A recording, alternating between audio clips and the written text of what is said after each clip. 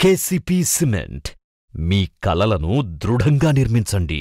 Sir story విషయానికి వస్తే మీరు ఎప్పుడు ఫ్యాక్షన్ ఆ టైపు కత్తులు కటార్లు ఉండి కానీ ఈసారి మీరు సేంద్రియ వ్యవసాయం అనే కాన్సెప్ట్ తీసుకోవడం వెనక ఉద్దేశం అంటే అన్ని ఛానల్స్ అన్ని సినిమాలు తీస్తున్నా మీకు బాగా ఆ సబ్జెక్ట్ మీద ఎక్కువ గ్రిప్ వెళ్ళడం మీకు మనసుకు హత్తుకునేది లైన్ ఒకటి కనిపిస్తుంటుంది.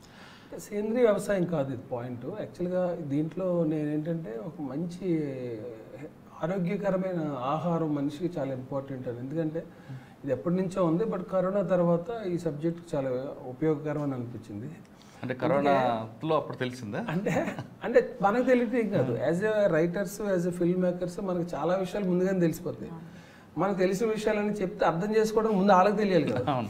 సో వాళ్ళకి తెలిసినప్పుడే మనం చెప్పగలుగుతాం. మీ వాట్సాప్ స్టేటస్ కూడా గుడ్ ఫుడ్ గుడ్ రిలేషన్స్ అంటే ఇప్పుడు యాక్చువల్లీ ఈ ఈ పోస్టర్ క్యాప్షన్ అదే.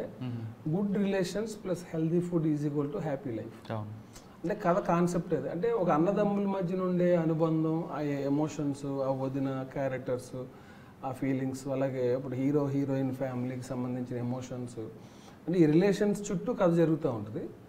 ఈ రిలేషన్స్ తర్వాత ఇప్పుడు అసలు అన్నయ్య ఏంటి ఆ ప్రాబ్లం ఏంటని అన్నప్పుడు అంటే ఒక హెల్దీ ఫుడ్ అనేది ఎంత ఇంపార్టెంట్ మనిషికి అనేది దీంట్లో డిస్కస్ చేయడం జరిగింది. సో మెయిన్ థీమ్ అది ఉంటుంది. మళ్ళీ దీనికి కమర్షియల్ హంగులు అంటాం కదా మనం అంటే యాక్షన్స్ అంటే కల్తీ ఆహారం జరిగే అనర్థాల మీద ఎక్కువగా. అది అది అది డిస్కషన్ ఉంది దీంట్లో. సార్ ఇదంతా ఓకే. ఆయన ఆయన. ఇప్పుడు మనం మాట్లాడుకుంటేనేమో సార్ సాంగ్లు ఎలా ఉన్నాయి? అది ఎలా ఉంది? కామెడీ ఏంటి? అని అంటాం. ఇప్పుడు ఆయన ఎంతసేపు అక్కడ ఫుడ్. ఆహా, ఆ కల్తీ. కల్తీ. కల్తీ. ఆ ఇది ఉంది కదా మనకి. ఆయన పాయింట్ అంతా సో అందుకే ప్రశాంతంగా అన్ని అన్ని వస్తున్నాయి ఒకే దాంట్లో. సార్ మీరు ఇంకోటి అబ్జర్వ్ చేస్తారా అన్స్టాపబుల్ షోలో సినిమా కథ తెలియకుండా బాలకృష్ణ గారు టైటిల్ ఎలా చెప్పారు అన్నది? అంటే మేము ఇన్వెస్టిగేషన్ కొంచెం మాట్లాడుకుంటున్నాం. అంటే ఆయనకు ఆల్రెడీ నా ఉండుంటుంది సబ్జెక్ట్ ఉండుంటుంది. అంటే ఏం లేదంటే ఆ టైట్లో ఆయన నోట్లోంచి పబ్లిక్లో ఫస్ట్ టైం వెళ్ళాలనేది నా కోరిక. మ్మ్. సో దానికి ఎలా చేద్దాం ఏంటి అని అనుకున్నప్పుడు మేము నిజంగానే అప్పటికి ఇంకా ఫిక్స్ అవ్వలేదు. ఆప్షన్స్ చాలా ఉన్నాయి.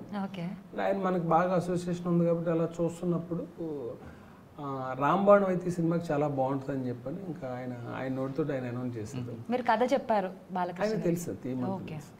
కానీ సార్ మీరు తీసుకున్న కల్తీ ఆహారం వల్ల ఎన్ని అనర్థాలు జరుగుతాయి భావితరాలకి ఎలాంటి నష్టం జరుగుతాయి అనేది మంచి లైన్ ఇది. అంటే కరోనా టైంలో మీరు చూశారు. దాని ఇంపాక్ట్ సినిమా స్టైల్లో జనానికి అర్థమయ్యే రీతిలో అంటే కల్తీ పంట వల్ల ఎలా జరుగుతుంది కల్తీ ఆహారం తీసుకుంటే ఏం జరుగుతుంది? అంటే ఇప్పుడు తీసుకున్నవాడు కాకుండా నెక్స్ట్ జనరేషన్కి అది ఎంత ఎఫెక్ట్ అవుతుంది? క్యాన్సర్ లాంటివి రావడం పెట్టారు. దాంట్లో కొన్ని సినిమా స్టైల్లోనే రియల్గా కూడా కనిపిస్తాయి. కొంతమంది అడ్డుకుంటారు శత్రువులు ఇవన్నీ ఉంటుంటాయి అదంతా కమర్షియల్ స్టైల్లో తీసుకొచ్చారా? అంటే యాక్చువల్లీ చెప్పాలంటే మనం ఎక్కువ ఇన్ డెప్త్కి వెళ్ళలేదు దాని గురించి. అంటే అవేర్నెస్ తీసుకొద్దాం ఎందుకంటే మన ఓన్లీ దాని మీదే పాయింట్ ఉంటే మనం ఇంకా ఇన్ డెప్త్కి వెళ్ళేవాళ్ళం. బట్ కాజ్ అయితే దాంట్లోనే ఉంటుంది. బట్ దాంట్లో కొన్ని ఎలిమెంట్స్ మనం చూసినప్పుడు ఏంటంటే జగపతి బాబు గారు కొన్ని విషయాలు చెప్తున్నప్పుడు హీరో గోపీచంద్ గారు చెప్తున్నప్పుడు దాంట్లో అంటే నిజంగా మనందరం అంటే దీంట్లో నేను రీసెర్చ్ చేస్తున్నప్పుడు నాకు తెలిసిన కొన్ని విషయాలు అంటే మనందరం పెద్ద నెగ్లిజెన్స్గా ఆ ప్యాకేజ్డ్ ఫుడ్లో అన్ని తీసుకుని తినేస్తున్నప్పుడు అసలు దానిపైన వాళ్ళు రాస్తున్న డీటెయిల్స్ ఏంటి? అంటే దానివల్ల ఎంత ప్రాబ్లం ఉందనేది మనకు తెలిసి కూడా మనం యాక్సెప్ట్ చేసి వెళ్ళిపోతున్నాం మనం. అంటే మనందరం ఏదో ఒక రకమైన దీంట్లోకి వెళ్ళిపోతాం అక్కడ యాక్సెప్ట్ చేస్తున్నాను కదండి అదొక కమర్షియల్. వాడు కూడా సిగరెట్ తాగితే హానికరం మద్యం హానికరం అని రాస్తాడు. చిన్న లెటర్స్ ఉంటాయి. అది పెద్ద పెద్ద లెటర్ పెట్టాడు అనుకోండి మీరు తాగుతారా? తాగరు. ప్యాకింగ్లో కూడా ఈ ఫుడ్ ప్యాకింగ్ తింటే క్యాన్సర్ వస్తుంది రాస్తాడు. కానీ అది కమర్షియల్ అవుతుంది పెద్దది రాస్తే మనం చూడం అంటే మీరు తీసుకున్న లైన్లో మీరు నేను డిస్కస్ చేస్తున్నప్పుడు నాకు బాగా నచ్చింది ఏంటంటే సినిమా అనేది అక్కడ వరకు కాదు. ఒక సామాజిక కోణం చూపించారు. ఆ సామాజిక కోణంలో ఇప్పుడు రేపు పొద్దున్న ఈ మీరు తీసుకున్న లైన్లో అటువంటి ఇన్సిడెంట్స్ జరగకుండా జరు జరగ జరుగుతుంటాయి. అటువంటి ఇన్సిడెంట్లు రేపు సమాజంలో జరిగినప్పుడు మీ సినిమాను కోడ్ చేస్తారు అప్పుడు మీడియా అంతా కూడా పలానా రామబాణంలో సేమ్ స్టోరీ జరిగింది. ఇప్పుడు మనం రియల్గా ఠాగూర్ సినిమాలు ఏ విధంగా అయితే తీసుకుంటున్నామో ఖచ్చితంగా ఆ లైన్ కనిపిస్తుంది. ఎందుకంటే మీరు ఆ కల్తీ ఆహారం తీసుకుని ఎలాంటి అనర్థాలు దొరుకుతాయి? అక్కడ శత్రు విలన్ హీరో ఏ విధంగా డిస్కషన్ అవుతుంటాయి?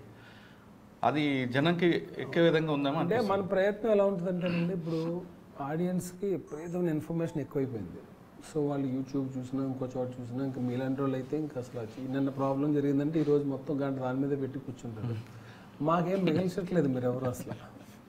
టీవీలు యూట్యూబ్లు ఇవన్నీ వచ్చిన తర్వాత అసలు కంటెంట్స్ మాకేం మిగల్చట్లేదు. ఒకప్పుడు ఏంటంటే ఒక సోషల్గా ఏదైనా ఒక ప్రాబ్లం క్రియేట్ అయితే దాన్ని ఇన్స్పైర్ అయ్యి ఓ దీని మీద ఏదైనా ఒక మంచి కథ రాయాలి అని అనిపించి మేము రాయటం టైం పడుతుంది.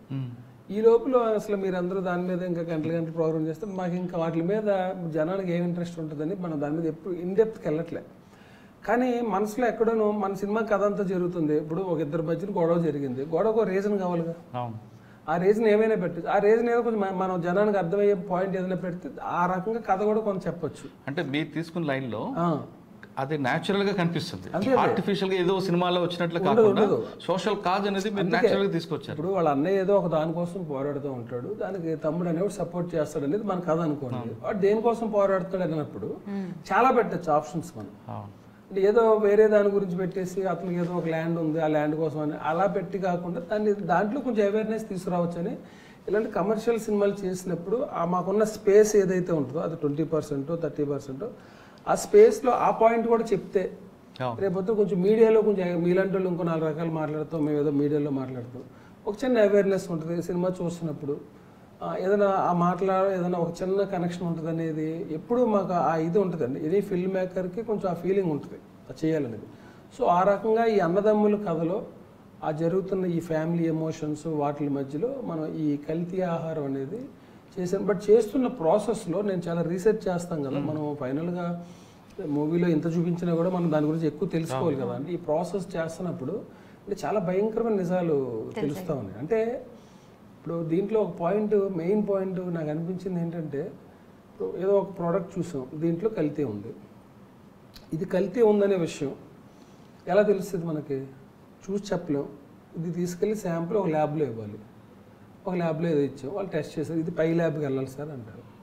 అల్టిమేట్గా ఏ ల్యాబ్కి అయితే వెళ్ళి అది టెస్ట్ చేసి ఇందులో ఈ ప్రాబ్లం ఉందని చెప్పాలో ఆ ల్యాబ్లు అన్నీ కూడా ఆల్రెడీ ఆక్యుపైడ్ అయిపోయి ఉంటాయి. ఎక్కడి నుంచి తెలుస్తుంది నిజం? అసలు తెలియదు అది. అంటే అట్లాగా అందరూ ఒక రకమైన లూప్లో పడిపోయి వెళ్ళిపోతా ఉన్నాం సో ఈ సినిమాలో ఒక సొల్యూషన్ చూపించబోతున్నారా లేదా. సొల్యూషన్ ఏం చూపించట్లేదు కానీ బట్ అవేర్నెస్ క్రియేట్ చేస్తుంది.